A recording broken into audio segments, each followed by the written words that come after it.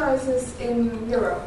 Uh, we're seeing um, a severe debt crisis in Europe, which we've seen before in other countries, in other continents. We've seen it in Latin America, we've seen it in Asia, we've seen it in Africa, and now it's in Europe.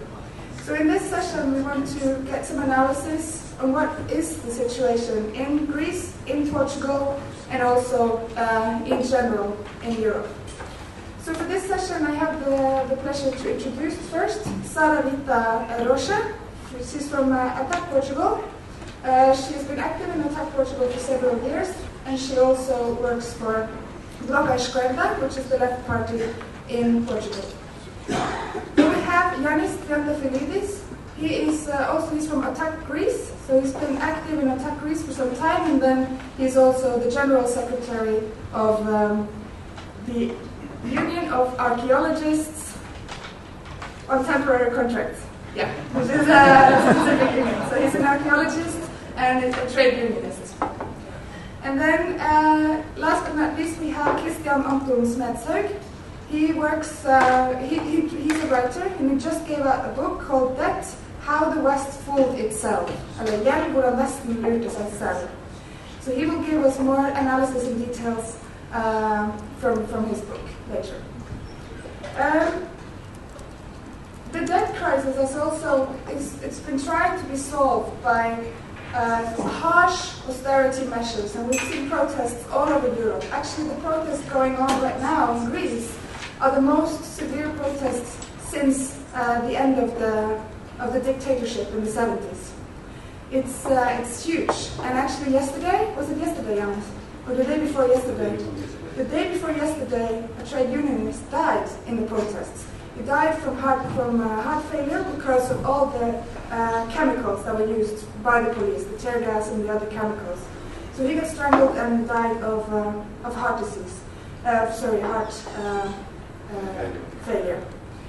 Um, and this is very sad, and it has a lot of like a lot of us all over Europe now are shocked because of this. And, and he was also a part of the peaceful protest, and he was part of a union that was always trying to calm down the protests and trying to make the trying to uh, stop um, stop the black bloc from actually uh, throwing uh, Molotov cocktails and throw, throwing stones. So he was the, one of the guys who tried to calm down the protests, and he actually died. So that's very very sad. So this has severe consequences. These uh, these uh, the austerity measures and the protests that we have, people are angry, and we want to find ways alternative ways out of the, out of the crisis. So then, uh, the first speaker today is uh, Sara, and she will uh, uh, tell us more on the crisis in, in Portugal and, and their alternative.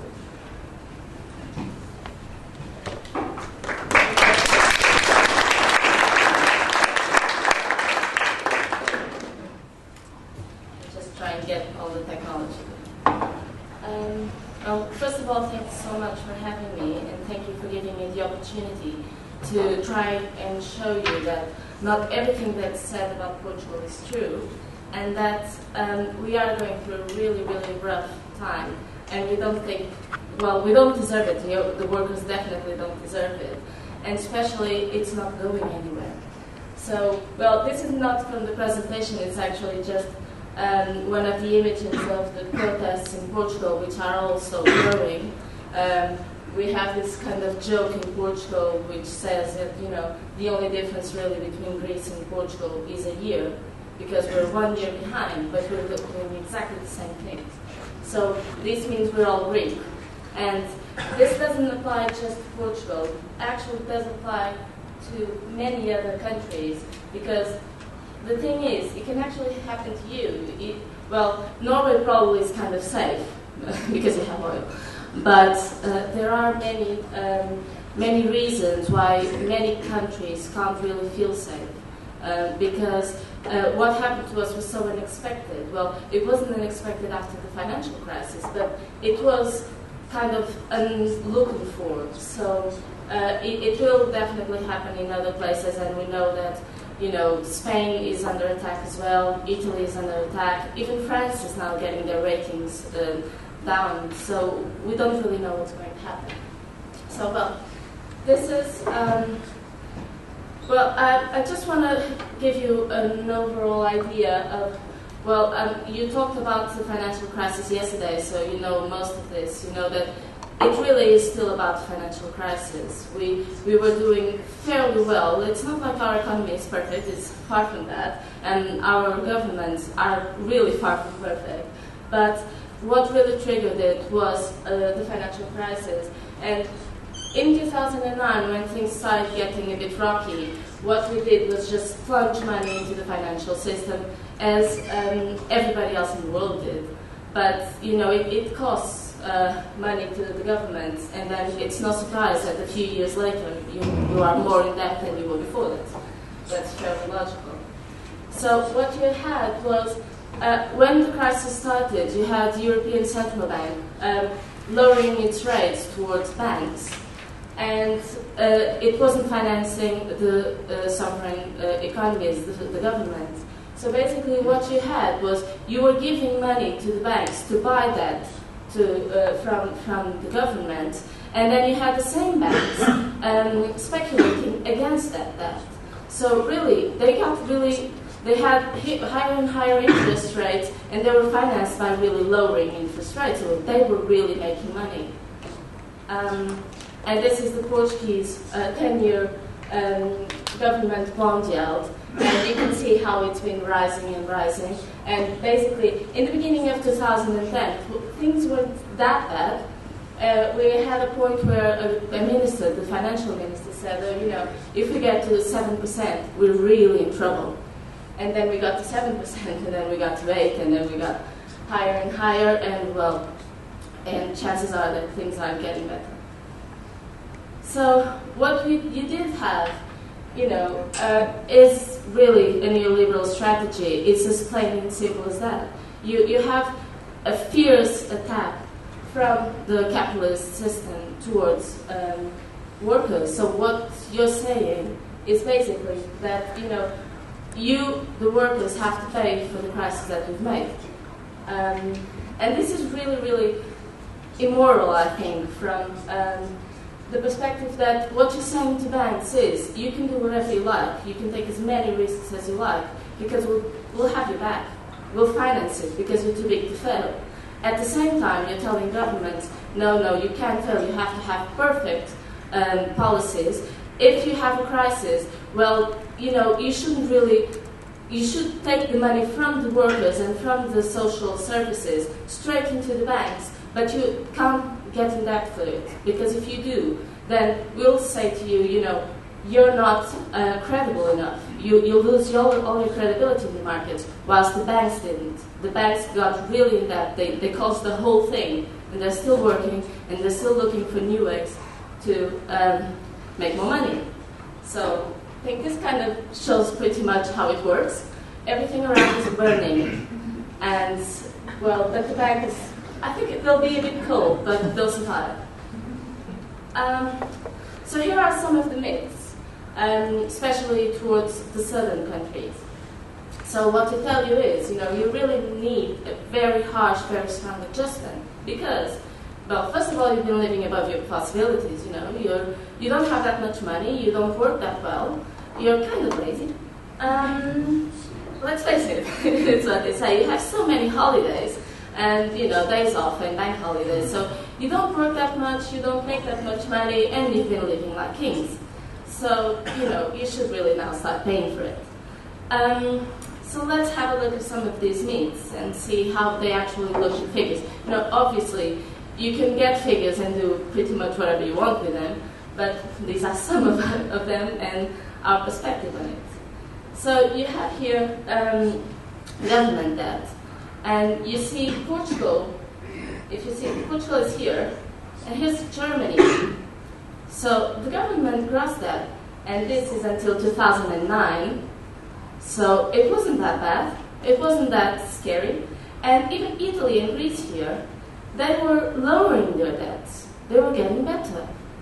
Um, and so we weren't that far from Germany. Um, you have Ireland here, which also had to go to the IMF, and they were really doing a really, really good job. They were really doing a really good job in getting their debt lowered. And then you had that bit there where the banks just go wild. They had 500% of their GDP in the financial system. And so when things got wrong, they got into real big trouble. But the point is, they were doing fine, and Italy, Greece, and Portugal were doing better. And then here, still, we're still talking about 2009 because it's important to see well how well in 2009 the effect of the crisis wasn't full blown yet, so you can still have an idea of where things were. And so you have the, the government deficit here in Portugal was already growing a lot, but still you had other countries going a lot worse. And still, you know, our debt wasn't that big, so we could afford to have a bit of a, a stress in our deficit to make sure that the financial, um, the financial system didn't collapse. Um, and so we did it. Uh, let me just tell you that, I, well, we can go into all these details uh, afterwards, but we did have a bank that was collapsing. It was a tiny little bank, but um, it was collapsing and the government nationalized it. And basically what they did was they kept all the debts, all the toxic actives, and then they just sell, sold it for a really, really nice price. But that's another conversation. So here we have our budget. We were being good students. We were doing fairly well.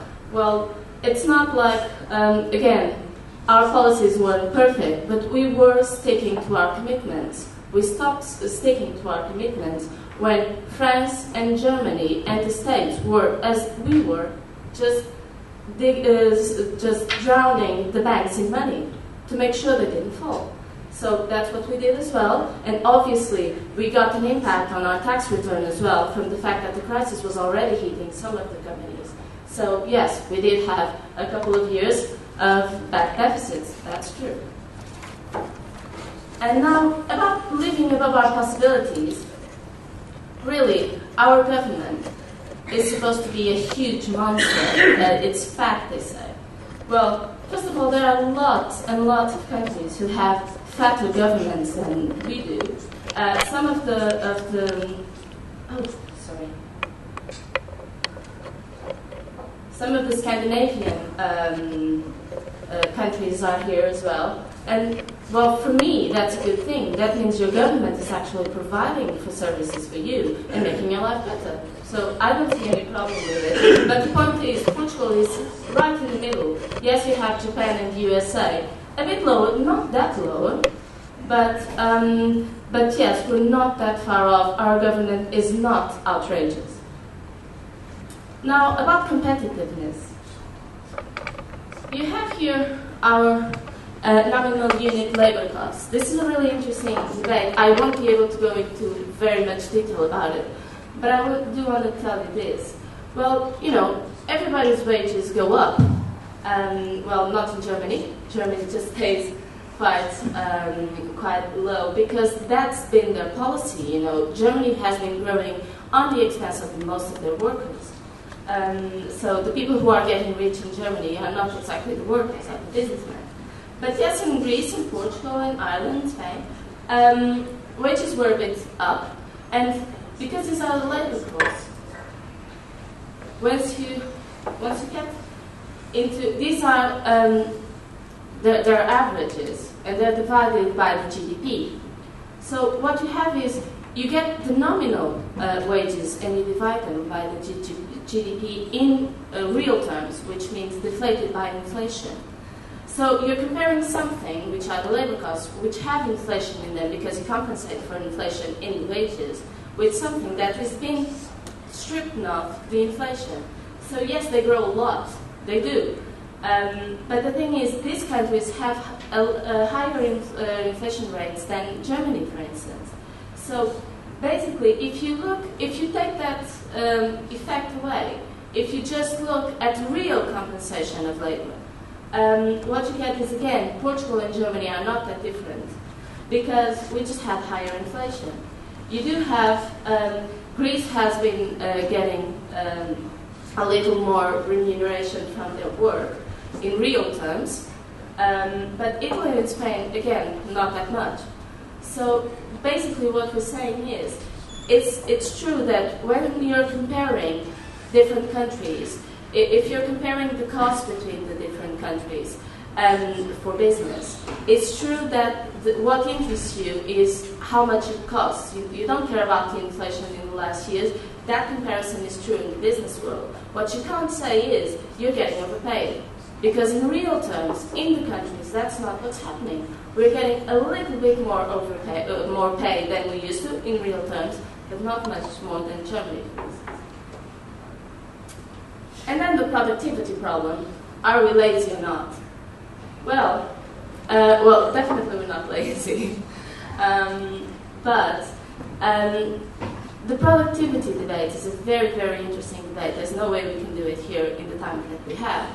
But the problem is, you measure productivity by getting all the GDP, and the GDP is measured by the internal consumption, the government consumption, and the external balance and the investment in the economy.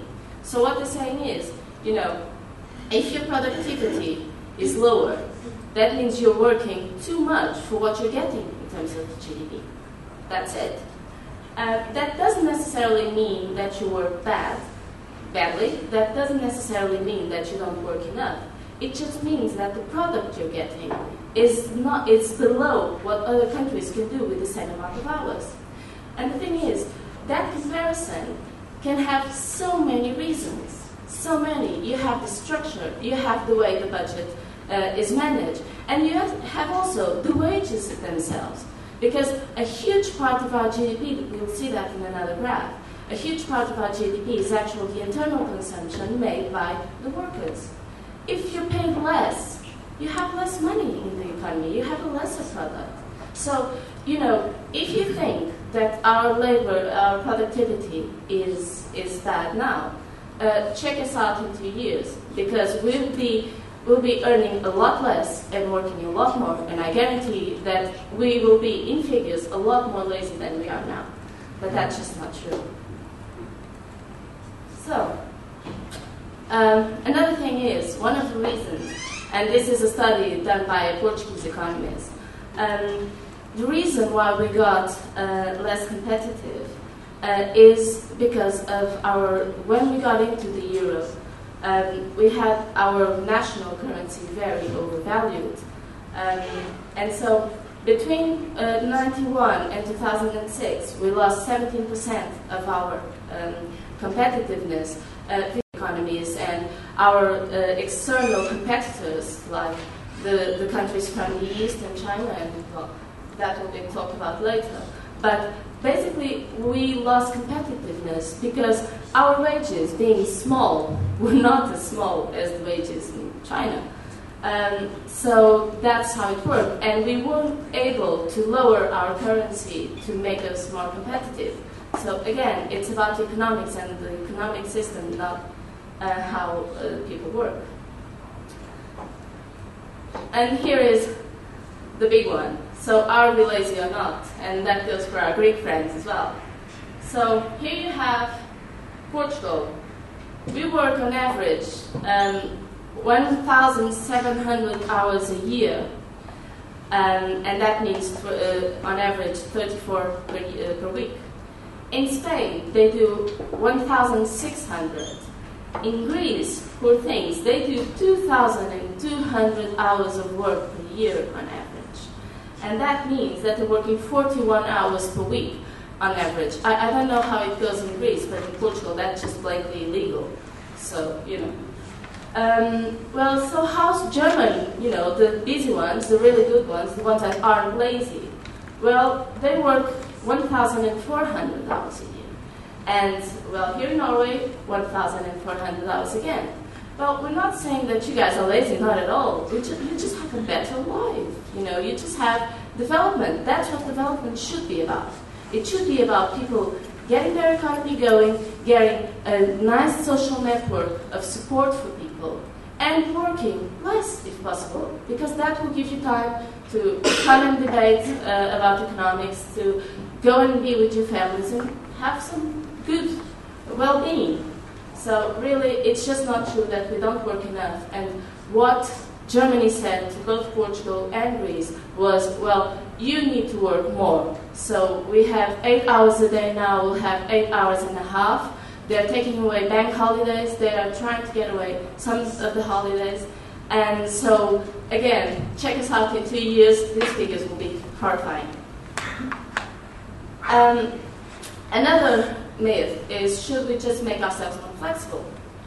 Well, it's not working, you know. Our uh, social support for unemployment, for instance, has been lowering. All the, uh, the uh, rules for getting support when you're unemployed are lowering, and our um, employment rate is just going very high. And the thing is, again, you can just get get the figures and say, oh, you know, you if you earn less, uh, and that's what they tell you, if you earn less when you're unemployed, then you have a bigger incentive to get a job. Well, really, it's not that the incentive that we need. We need to have jobs available, and they aren't there. So, what we're having is we have now the fourth, uh, fourth, fourth highest rates of unemployment in OECD countries. Um, 60% of the people, that's a calculation, it's not obviously the official rate, because after you've been unemployed after a certain time, you just stop having any support, and sometimes you just didn't work uh, enough months to get support. So basically 60% of these people are without any support. You have a ton of precarious workers, and every time you create a new job, it's more precarious. We have, we were talking yesterday, we have um, uh, workers that are supposed to be independent workers. Oh my god. Okay, so let's go from there. Uh, I'm really, really bad on timing now. So, is austerity the way out? Um, we don't think so, not at all. Things are going worse and worse. Uh, and um, we need to find other alternatives. Main policies in Portugal. What we did was, once we realized we were in trouble, we thought, oh my god, we were really good students and now we're doing so much uh, worse. So what we'll do is, we'll try to keep the IMF out by doing exactly what the IMF would say to us, without money.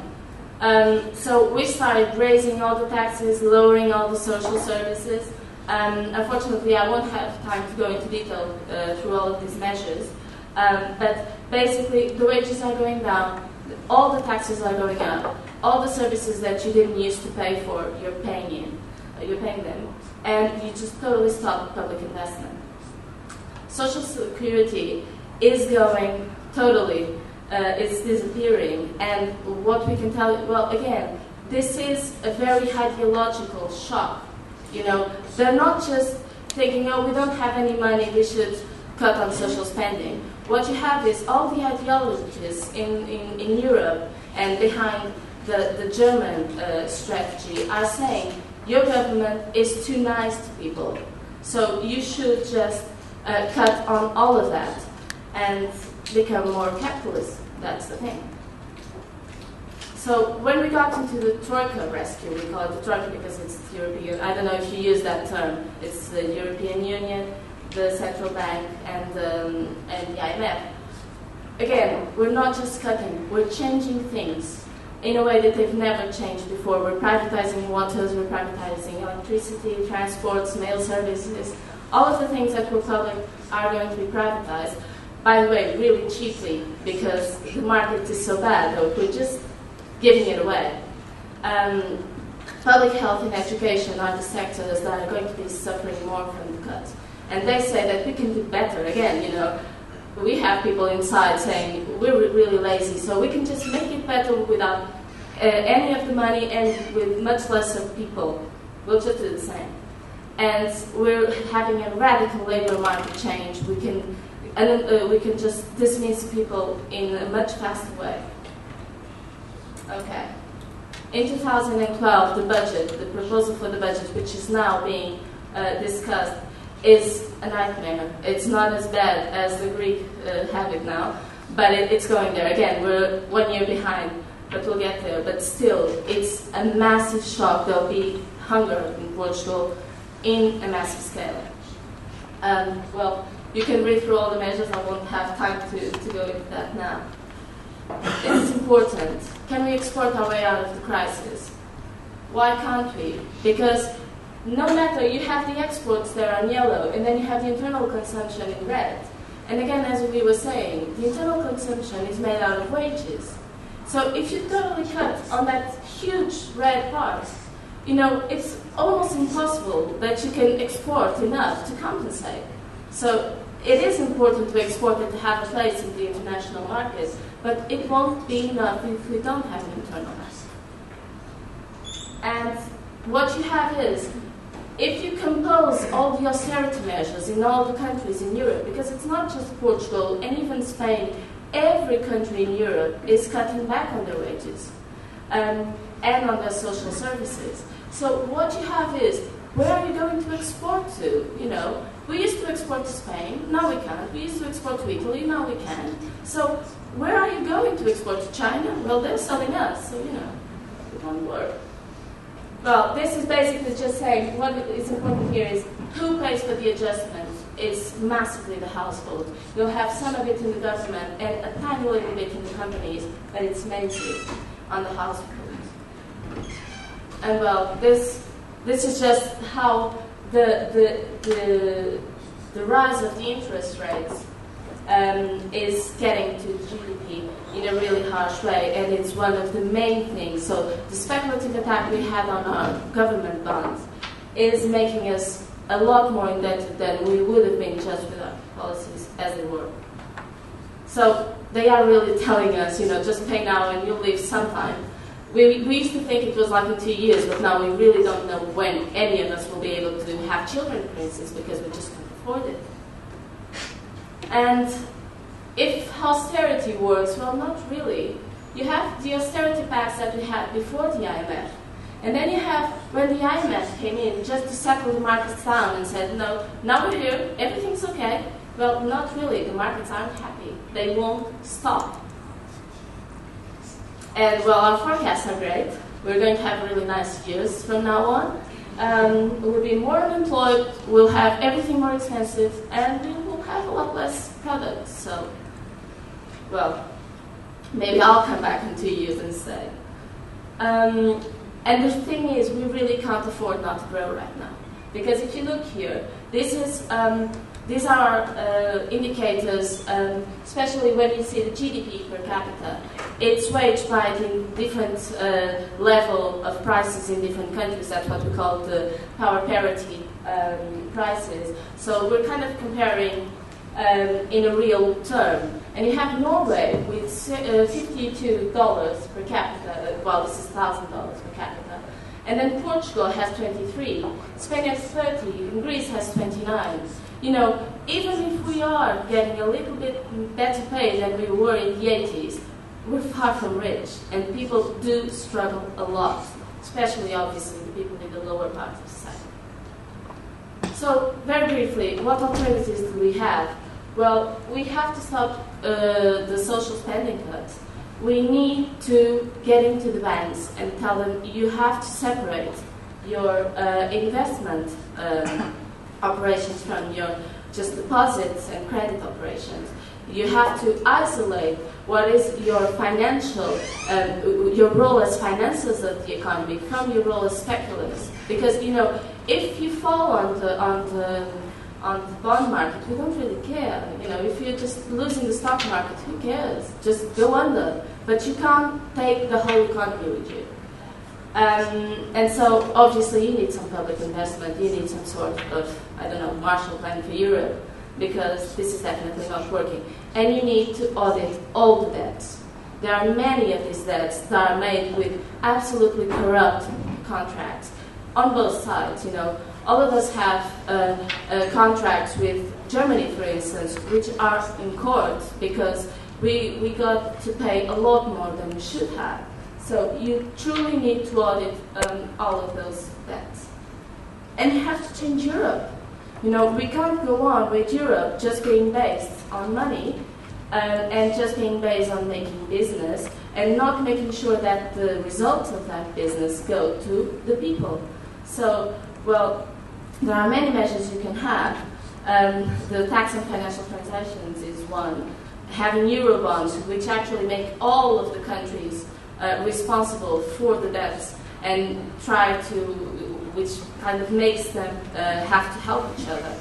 and some sort of economic government might be an idea. Um, but you just have to change. And what you really need to do is you have to listen to the streets. You know, it's all there. It's not just the people being silly and saying, oh, you know, I can't really eat today. They, they know if you go into one of those protests, and we can tell you a bit more about it later, you, you look at the posters that people have in their hands, and they're just so right. They're economically right. Um, so you need to listen to what's on the streets. You need to listen to what people need, and you need to make sure that whatever development you have goes to the people and not to the markets. And that's it.